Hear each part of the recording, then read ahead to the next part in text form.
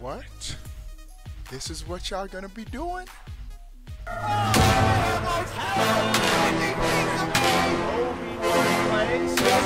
What's up? All right.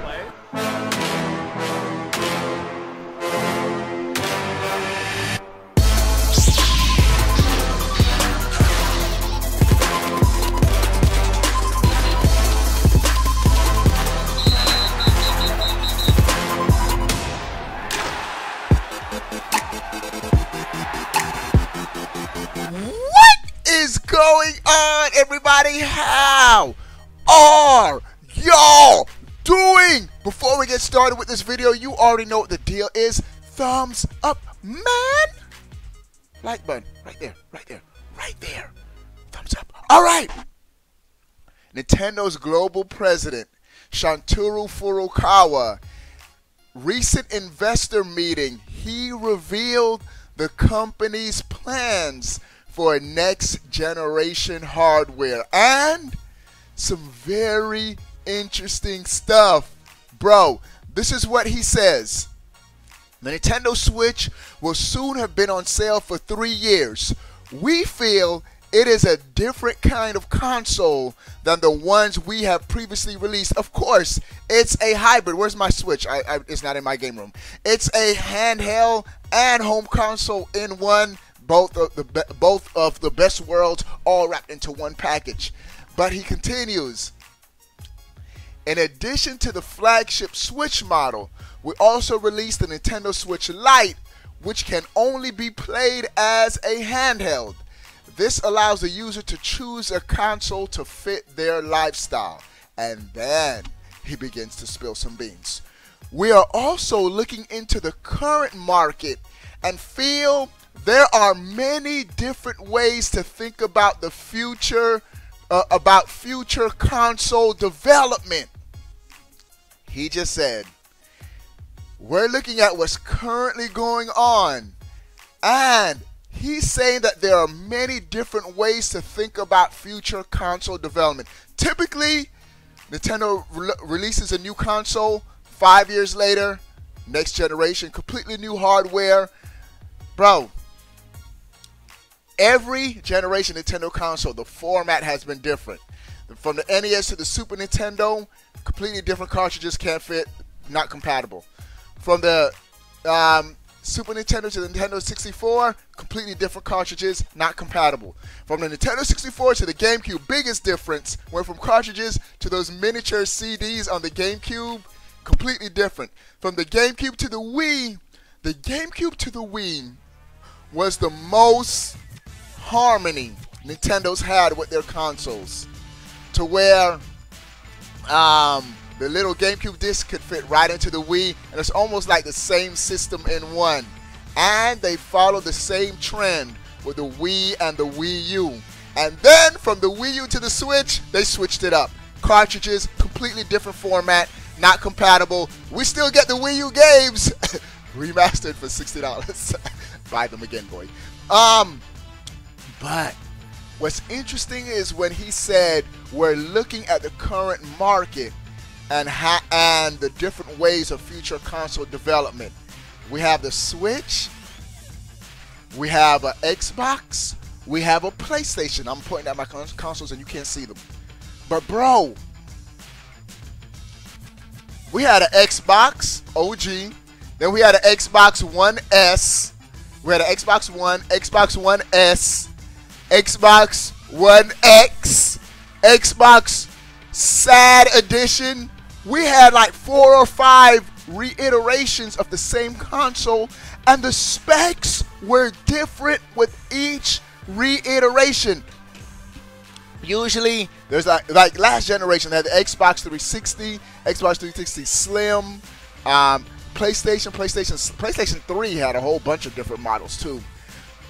But they were all same specs, ran the games exactly the same.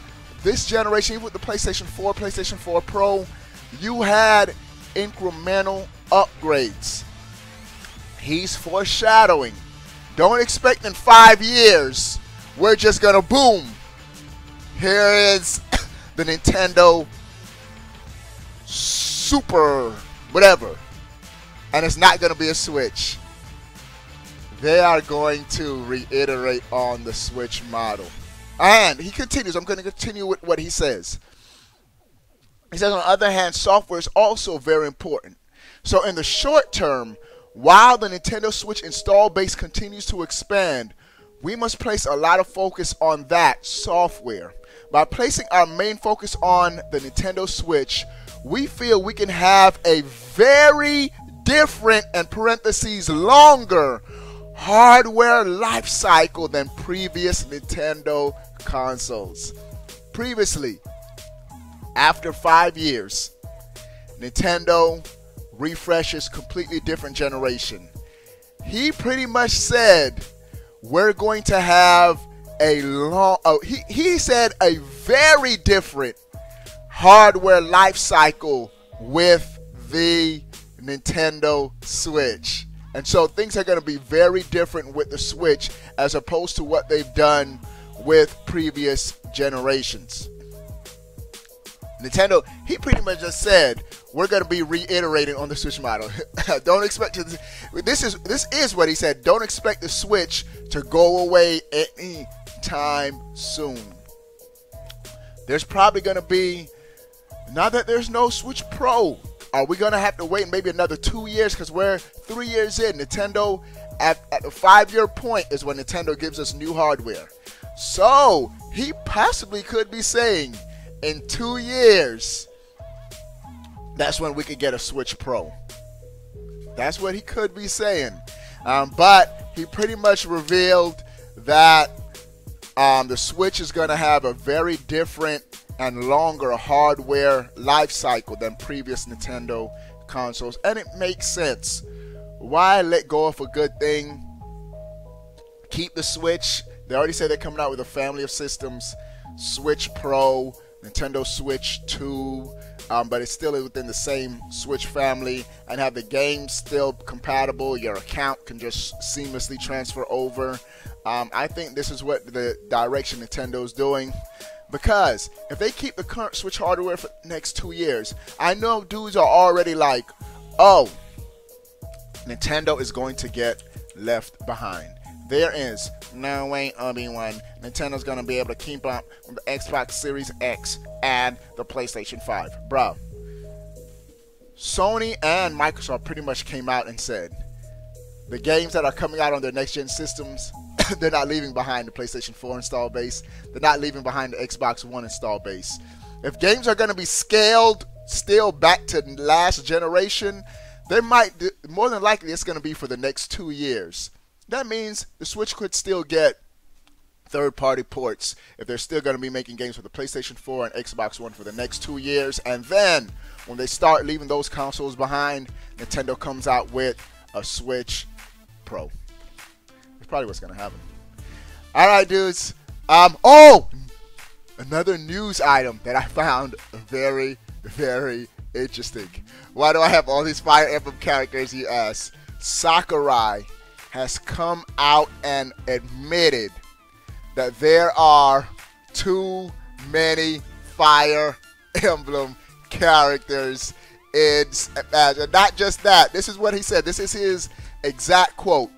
I understand as well there are too many Fire Emblem characters, and there are also too many sword users.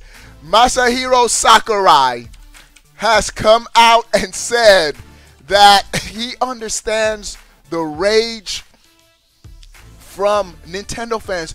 That's all we needed, Sakurai, for you to understand there are too many Fire Emblem characters. When Byleth was announced, that was arguably the most controversial um, release um, of all the Smash DLC fighters.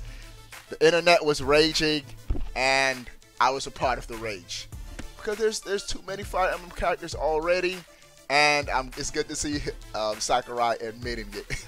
he admitted it, and Nintendo Nintendo Smash Brother fans, they're gonna defend it. Sakurai is wrong. There's not too many Fire Emblem fighters. When the man himself said it, that there's too many. He said there's too many Fire Emblem fighters and sword users. And that was my, exactly when Bot was revealed. That's what I said. There's too many Fire Emblem fighters. There's too many sword users. what are you doing, Sakurai? All right, dudes. What do you guys think about everything we talked about in this video? Sound off in our comment section below. I want to know. But before you go, bro, click that subscribe button. Stay up to date. All things Nintendo. We out, boy. You're still watching this video? That means you like me. You really like me. I gotta hook you up. That's right, we're having monthly giveaways. $60 eShop codes for your Nintendo Switch. You can choose any game of your choice. How do you enter? One, subscribe. Make sure you're subscribed to this fire. Two, make sure you're following me on Twitter at Obi-Wan Plays, and that's it you're in for our monthly giveaways. But that's not it. It gets even better. Do you want to game with your boy every day? Do you want to join our private Nintendo Switch Gaming Discord? Become a member. Three ways to join. One, through YouTube. There's a join button right below this video. Two, through Twitch. Twitch Prime. You can do it for free or just subscribe through Twitch. And number three, the third way to join, patreon.com backslash Obi-Wan Plays. You'll thank me later. Also, check out the swag, bro. Links are in the description. See you later. Peace.